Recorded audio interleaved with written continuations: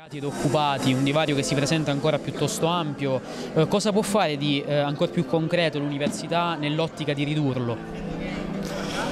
Nei fatti i laureati del nostro Ateneo eh, risultano avere un lavoro sia a un anno ma ancora di più a tre anni dalla laurea in percentuali molto alte, sono percentuali e dati noti, eh, provengono da un osservatorio terzo quale Alma Laurea e quindi una laurea in una università di prestigio come l'Università di Catania sicuramente consente di raggiungere gli obiettivi previsti.